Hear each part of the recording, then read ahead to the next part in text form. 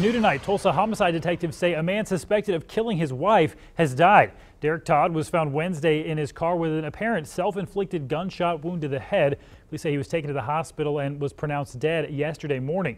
Detectives say Todd's wife, Tanya Walker, was found dead in their South Tulsa home after a standoff Tuesday night. Central High School was also on a modified lockdown because Todd was a security guard for Tulsa Public Schools. Police say no one else is expected to face charges for that killing.